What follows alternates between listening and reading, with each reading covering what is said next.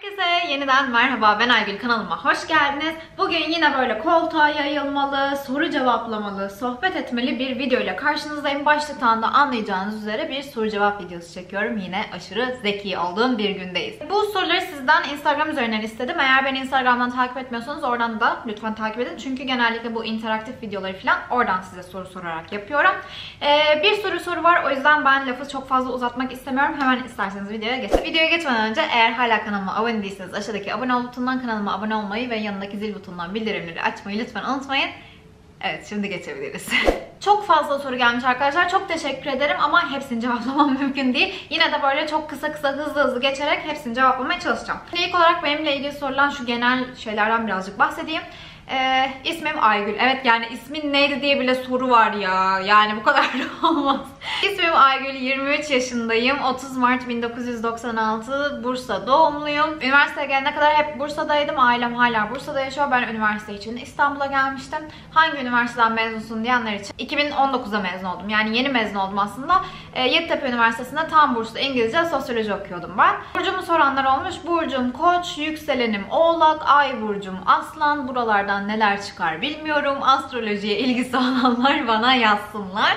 Sonra camı en çok sorulan sorulardan bir tanesi boyum tabii ki. Boyum 1.60 Belki 1.58, 1.59 da olabilir ama ben 1.60 diye yuvarlıyorum. Öyle kendimi daha iyi hissediyorum galiba. Neyse kilom da 46, bazen 45, bazen 47. 47'nin hiç üstüne çıkmıyorum ama altına eğer düşersem çok daha tabii mutlu oluyorum. Anlayacağınız üzere birazcık böyle minik bir insanım. Şimdi hızlıca sorularınıza geçiyorum. Yunanistan'a gelmeyi düşünüyor musun diye bir soru gelmiş. Yani şu anda kısa vadedeki planlarım arasında yok ama olursa ne güzel olur. Çünkü yani ben zaten gezmeyi çok seven biriyim. Bütün dünyaya dolaşmayı çok isteyen biriyim. O yüzden Yunanistan'da gayet güzel hem yakın hem farklı bir kültür gerçekten görmeyi çok isterim. Akne izlerin için gittiğim bir doktor veya yaptırdığım bir işlem var mı Aygül? Bu arada şey diye de bir soru vardı. Şu an bulabilecek miyim bilmiyorum ama hani sivilcelerin için ne yaptın? Bir şeyler, tedavi uyguladın mı daha önce falan diye. Evet eskiden sivilcelerim vardı. Ben iki tur Birincisi 9. sınıfta, ikincisi de üniversiteye başladığım yıl hazırlıkta olmak üzere şey kullandım. Roakutan tedavisi gördüm. Birinde Acnetrend, birinde de Zoretenin kullanmıştım. Sonra sivilceler geçti. Şu anda böyle aktif olarak sivilceler dönem dönem yani sivilcenin çıkması gereken zamanlarda çıkıyor ya da böyle çok yemeği abarttığımda falan çıkıyor. Ama o tedavi sırasında işte o geçen sivilcelerden kalma şuralarda izler var. Böyle karşılıklı videolarda çok fazla görünmüyor ama vloglarımı izleyenler özellikle fark ediyor. Çünkü böyle karşıdan ışık gelince belli olan bir şey değil ama yukarıdan ışık gelirse ya da tersten ışık gelirse bir anda böyle bam diye çıkan şuralarda böyle yanaklarımın üzerinde e, minik minik noktacıklar var. O noktacıkları için yaptırdığım bir işlem şu ana kadar da yaptırdığım birçok işlem oldu. Şu anda da hali hazırda yaptırdığım bir işlem var. Ama faydasını görür müyüm bilmiyorum. Çünkü bunlar birazcık uzun vadeli işlemler. Ee, eğer görürsem sizinle mutlaka paylaşırım. Çünkü bu dertten muzdarip de birçok insan var biliyorum. Sürekli mesaj atıyorsunuz çünkü. Dediğim gibi eğer işe yararsa bir faydasını görürsem sizinle mutlaka paylaşıyor olurum. Ama işe yaramazsa da sonuçta bunlar böyle maliyetli şeyler, maddi manevi sizi yoran şeyler. O yüzden neden memnun kalmadığım bir tedavi sizle paylaşayım diyorum ve geçiyorum bir sonraki soruya. Witcher'ı nasıl buldun diye bir soru gelmiş. Witcher'ı izlemedim. Saçların nasıl bu kadar doğal ve güzel duruyor? Saçlarım doğal ve güzel mi duruyor? Teşekkür ederim. Ya açıkçası böyle ilgili videolarımı izliyorsan ya bu havada ne kadar karardı ya. Gece gibi oldu. Daha saat 1. yani saçlarımın bakımını ihmal etmemeye çalışıyorum açıkçası. Benim saçlarım çok böyle e, kabarmaya meyilli olduğu için ben de hep düzleştiriyorum saçlarımı ve o halini daha çok beğendiğim için düzleştirdikçe saçlarım daha çok kırılıyor ve daha e, şekil alması zor bir hale geliyor. O yüzden aslında o kısımdan memnun değilim ama onun dışında saçlarımdan falan gayet memnunum. Eğer böyle bakım rutinlerini falan da merak ediyorsanız daha önce de videolar çekmiştim. Onları da izleyebilirsiniz.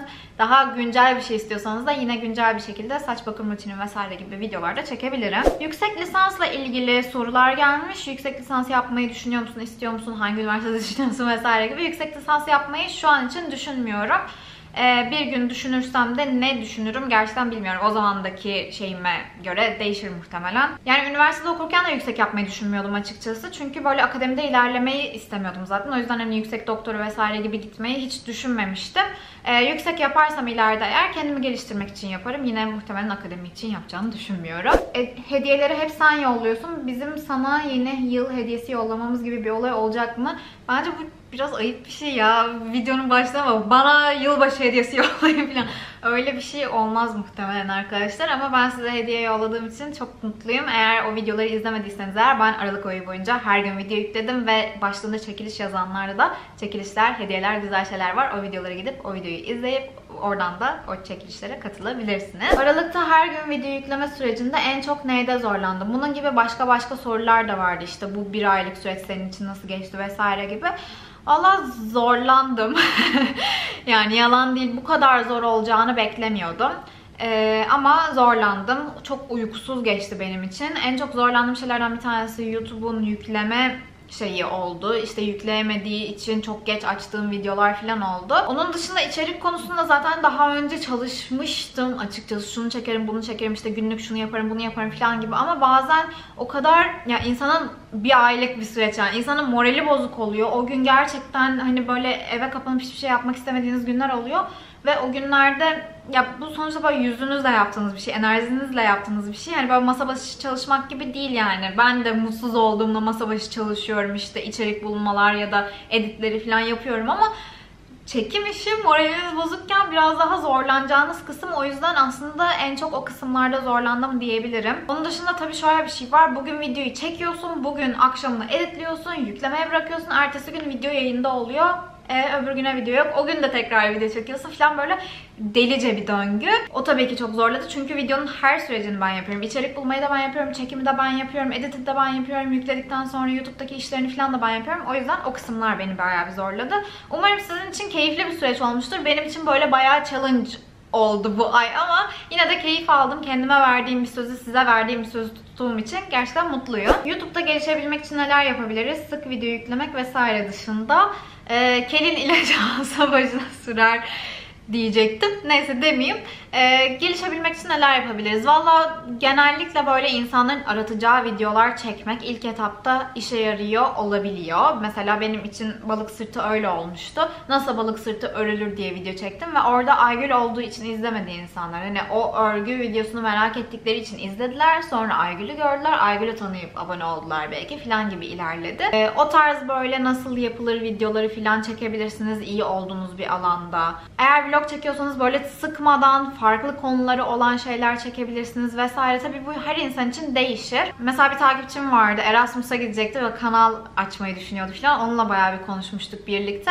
O Erasmus'tan da vloglar yüklemişti falan. Bir süre sonra şey demişti hani daha başka ne yapabilirim falan gibi mesela mesaj atmıştı. Ona da şey demiştim hani Erasmus'taki vloglar okey ama seni tanıması gerekiyor ki insanlar vloglarını izlesinler. Çünkü vlog izlenme oranları daha düşük oluyor. İnsanın insanı tanıması gerekiyor vlog izlemek için.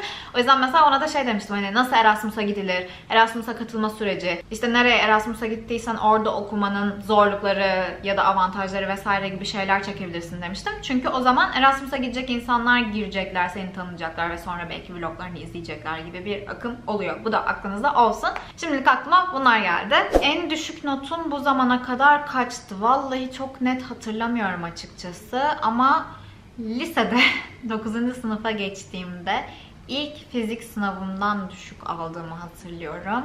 Not hatırlamıyorum ama 37 falan olabilir mi? Yani bayağı düşük bir şeydi. Ee, onun dışında şu an aklıma gelmiyor ama o fizik sınavı hala aklımdadır. 9. sınıfın ilk fizik sınavı. Ee, ve zaten o zaman ayrılıyordu ya böyle şeyler. Fen dalları falan böyle fizik, kimya, biyoloji. O fizik sınavını hiç unutamam o yüzden. Hangi zamanda dünyaya gelmek isterdin? Seni seviyorum. Ben de seni seviyorum. Hangi zamanda dünyaya gelmek isterdim? Açıkçası öyle bir bazılarının şey tutkusu vardır ya 70'ler benim zamanımmış abi keşke o zaman yaşasaymışım. İşte 1930'lar tam benlik kıyafetleri falan. Hiç öyle bir e, dönem aşkım yok geçmişe dair. Gelecekte Gelecekte de işler böyle artık iyice sarpa sarıyor gibi şu Black Mirror'ları falan izleyince teknolojiden dolayı ama yani şu zaman da değil bence. Bilmiyorum gerçekten hani şu an bilemedim bunun cevabını. Ama geçmişe mi gitmek isterdin, geleceğe mi gitmek isterdin deseniz galiba geleceğe gitmek isterim. Çünkü onu daha çok merak ediyorum. Ama geçmişe de gitsem böyle ilk zamanları, ilk insanların zamanlarına gitmek isterim. Çünkü onu da çok merak ediyorum. Liseyi hangi lisede okudum? Fen Lisesi mi, Anadolu mu? Ee, Anadolu'da okudum. Bursa Anadolu Lisesi'ndeydim. Ne zaman evlenmeyi düşünüyorsunuz? Sizi sevirem. Ben de seni sevirem. Ama ne zaman evlenmeyi düşünüyorsun? Evlenmeyi düşünüyor musun? Ne zaman evlenmeyi düşünüyorsun? Gibi sorular var. Arkadaşlar bir dakika kapı çaldı. Berfu gelmiş arkadaşlar. Şu an arkada o da var. Ee, hangi soruda kalmıştım inanın hatırlamıyorum. Şu an tekrardan bakıyorum. Ha, ne zaman evlenmeyi düşünüyorsunuz diye milyon tane soru var. Şimdi evlenmek e, iki kişiyle yapılan bir şey. Böyle işteş bir eylem olduğu için böyle benim düşünmemle gerçekleşebilecek bir şey değil. E, bir de ne bileyim erkek arkadaşım olsa, nişanlım olsa, bir şey olsa bu soruyu sorun. Ama ne zaman evlenmeyi düşünüyorsun? Düşünsene hiçbir şey yok ortada. 2025'te evlenirim falan hani böyle bir dünya yok ne yazık ki. Hayat öyle bir şey değil. Ve şey sevgilim var mı soruları içinde yok. Ee, onu da cevaplayayım. O yüzden evlenmeyi düşünüyor musun? Şu an için hayır. Çünkü ya evlenmek böyle şey gibi bir şey değil. Ne bileyim hani böyle şey hani doğuyorsun, okuyorsun, işte üniversite bitiyor, evleniyorsun, iş buluyorsun işte çocukların oluyor vesaire. Böyle bir hayat çizgisi var gibi görünüyor. Ama sırf evlenmek için evlenirsen bence biriyle o evlilik çok da iyi olmuyor yani. Hani sırf ev, evlenmek için evlendiğinde. Sosyolog konuşuyor. Ya işte aile sosyolojisi bunlar. O yüzden benim düşüncem eğer biri olursa evliliğe gider ama evlenmek için biri olması hayatı zindan etmek gibi bir şey gibi geliyor bana. Bilmiyorum kendi fikrim. O yüzden öyle düşünüyorum yani. Bir fobim var mı? Varsa nedir? Fobi gibi değil ama şey e, yaşlanmaktan biraz korkuyorum ben. Gerçekten böyle şey aynaya geçip böyle şu an mesela bu aralar fark ediyorum. Şu alnımın yukarısında kırışıklıklar başlamış ve mesela bu beni bayağı mutsuz ediyor. Bilmiyorum yaşlanmakla ilgili birazcık korkularım var. İnsan uçaktan korkar, asansörden korkar. Sen otursana şuraya rahat rahat sırtını yasla. Netflix kapanırsa sence ne olur? Ne olur? Dizileri şeyden izleriz. Kaçak izleriz. Diziizle.com böyle bir site var bilmiyorum ama öyle şeylerden izleriz. öyle şeylerini izleriz ya da birazcık daha YouTube izlemeye daha çok gelir insanlar. Bu da bir artı olabilir. Yurt dışı vlog gelecek ve bence git ve çek aşırı güzel oluyor. 2020 için iki tane şu an planlanmış var. Ee, inşallah yani gider gittiğimde çekeceğim zaten ama onun dışında da umarım daha da artar. Seyahat etmeyi seviyorum çünkü. Kuaförüm sensine katılmayı düşündün mü? Hayır. Hayır öyle bir şey değilim. Ve bence yani şimdi zan altına bırakma öyle şeyler böyle birazcık daha ne bileyim daha kaslardan falan bulunmuyor mu ya öyle şeyler? Gerçekten kuaförler mi diyor? Bence değil ama bilmiyorum. Bilmiyorum ben de bilmiyorum. Bilen varsa aşağı yazsın içeriden bileyim. Aralık ayının bitmesini istiyor musun? Ben hiç istemiyorum. Nasıl olsa her gün video var. Teşekkür ederim ama ben artık birazcık istiyorum çünkü çok yoruldum ve birazcık uyumak istiyorum. Ocak ayı için planım uyumak arkadaşlar. O yüzden ee, biraz artık bitse iyi olur ama zaten sona geldik yani. Son birkaç gündeyiz. O yüzden iyi gitti bence bu süreç. YouTube'dan kazandığın ilk parayla ne yaptın? Çok hatırlamıyorum. Hani ne kadar bir şey kazanmıştım, ne olmuştu falan diye. Ama şey harcamadım. Ee, onlar zaten YouTube'dan gelen parayı böyle ayrı bir IBAN'ıma göndertiyordum ve orada biriktiriyordum. Hiç harcamadan. Ee, sonra böyle e, şey olunca da şey almıştım hatırlıyorum. Vlog kameramı öyle almıştım. Ee, ana kameram vardı bir de telefonum vardı. O yüzden böyle yurt dışına çıktığımda ya da işte günlük vloglar vesaire çektiğimde kendime telefondan çekiyordum ön kamerayla. Dışarıyı da o kocaman DSLR kamerayla çekiyordum. O hem böyle titretiyordu falan böyle hem de editte böyle iki farklı yerden görüntü almak benim için zor oluyordu. O yüzden vlog kamerası bayağı iyi olmuştu. Onu da tam Roma'dan Roma'ya gitmeden önce almıştım. Hala aklımdadır. Tek başına mı yaşıyorsun? Nerede yaşıyorsun? Evet tek başıma yaşıyorum. İstanbul'da yaşıyorum. Şu an okulun da bitti diye biliyorum. Neden İstanbul'da yaşamaya devam ediyorsun? Çünkü İstanbul'a aslında sadece okul için gelmedim. Yani zaten YouTube olmasaydı da ben yine reklam ya da böyle dijital pazarlama gibi bir şeyde çalışmayı düşünüyordum. O yüzden onları da İstanbul'da aslında devam etmeyi düşünüyordum. O yüzden yani zaten İstanbul'da kalacaktım benim fikrimde. Ama e, şu an YouTube olduğu için de YouTube'la ilgili de her şey işte lansmanlarmış, işte markalarla toplantılar, ne bileyim çekimler bilmem neler hepsi zaten İstanbul'da oluyor. O yüzden İstanbul'da yaşamak her zaman için bu sektörde bir artı bence. YouTube'dan başka bir işte çalışıyor musun? Hayır. YouTube ve Instagram'la şu an ilerliyorum. Yeni yıldan beklentilerin neler? Bununla ilgili kocaman bir video çektim. O videoya gidip izleyebilirsiniz. Çayınızla kahvenizle gidin o videoya. Hem benim beklentilerim, hedeflerim, hayallerim var. Hem de sizinkiler var. Sizden yine Instagram'dan almıştım. Onları okumuştum. Baya güzel bir video oldu. Böyle baya ilham verici bir video oldu. Yeni yıla girmeden bence o videoyu mutlaka izleyin. Ev turu ne zaman yapacaksın? Ev turu bayağıdır çok istenen bir video. Böyle hep şey diyordum hani son birkaç parçam var. Onlar da gelsin çekeyim, onlar da gelsin çekeyim. Artık baya bir tamamlanmaya başladı. Ee, o yüzden sanıyorum ki Ocak'ta böyle gelecek ilk videolardan biri umarım o olur diye. Şu an söz vermiyorum ama olması için çabalayacağıma emin olabilirsiniz. Hep böyle pozitif misin? Hayır. en büyük pişmanlığın ne?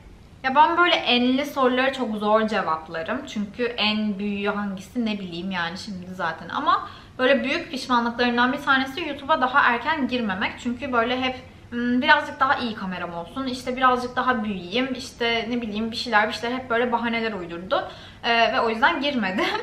Sonrasında da şeyde mesela Amerika'ya işte Work and Travel'a gitmiştim. Sonra dönünce sorularınızı cevaplayarak ilk başlamıştım ya. Mesela keşke Amerika'ya gittiğimde başlasaymışım ve oradan bir şeyler çekseymişim diyorum. Hem çok güzel bir içerik hem bana çok güzel hatıralar, anılar.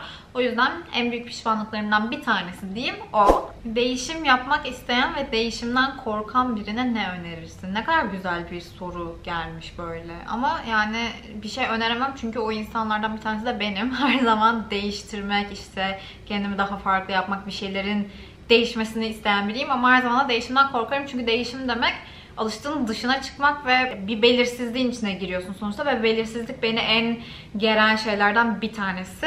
O yüzden o yüzden hani değişimden hep korkmuşumdur. Çünkü ne olacağını bilmiyorum. Risk almak gibi bir şey ama yani bir noktada o riski almazsan da güzel şeyler gelemiyor gibi de bilmiyorum. Yani buna bir şey diyemedim. Bulursan sen hatta bana söyle diyorum yani şu an. Ayrı eve çıkmak nasıl bir duygu? Bu arada seviliyorsun. Sen de seviliyorsun. Ayrı eve çıkmak benim için güzel çünkü e, ev arkadaşım da benim daha önceden de zaten arkadaşımdı. Hani o konuda bir sıkıntı anlamında değil ama yani ya ben zaten her zaman böyle bireysel yaşamayı seven bir insanım. O yüzden hani ayrı yaşamak benim için e, güzel oldu öyle söyleyeyim. Bir de yaptığım iş dolayısıyla hani evde biri olunca ya da işte biri alıp işte bir şeyleri bir yere koyuyor diyelim. Aa sen orayı arka plan yapacaktın.